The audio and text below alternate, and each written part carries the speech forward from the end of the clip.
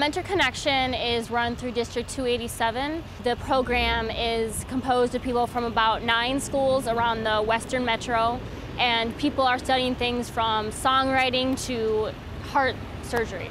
It allows students to coordinate with someone who's an expert in that field, very much like an apprenticeship, to do a project that's going to make a difference in the real world.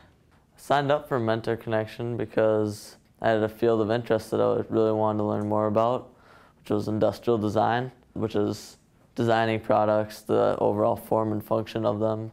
I interned at Worrell, which is a design and engineering firm in downtown Minneapolis. My job was to design a spray bottle for one of the client companies of Worrell. So I sketched um, different ways to uh, make a spray bottle and then different designs using foam models, which I would shave out. So my job really was to make the overall look of what the product could become in the future. Fox 9's Eric Rung is looking into this story for us, and he joins us live with what he's found out. Eric?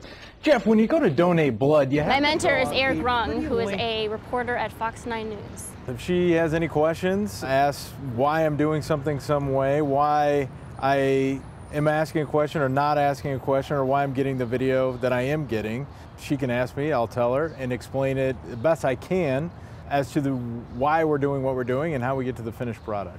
Through working with Eric, I have learned everything about journalism shooting, editing, reporting. I also help with stuff, I help write. The kinds of things that students are able to do is just remarkable, and the kinds of people that they are able to work with is remarkable. It'll definitely give me a step up in art classes because I did draw and design a lot.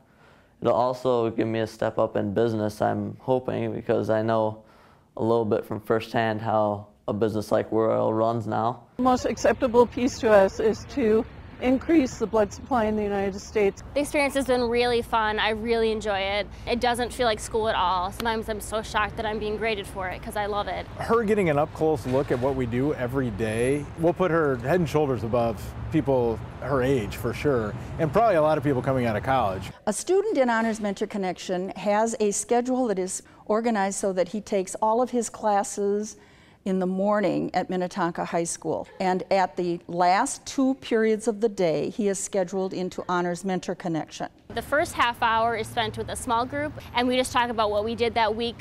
Then after the half hour, the next hour and a half is a speaker. We do a series of seminars that cover three areas. We cover personal skill building, professional skill building, and then we cover ethical leadership. So the seminar speaker series is intended to cover topics that an educated person ought to know about. And that's been really neat, really interesting to hear those life stories. And that's been one of the best parts of the program is hearing those people speak.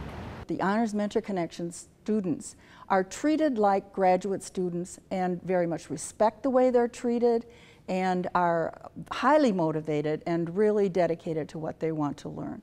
I've learned so much this experience. And they teach us how to be professional, how to handle ourselves in professional situations. So through that, I've just completely changed, become more confident, I think become more of an adult. And I feel so confident going into college now, studying this and having had this experience. I feel like I actually know what I'm going to be doing.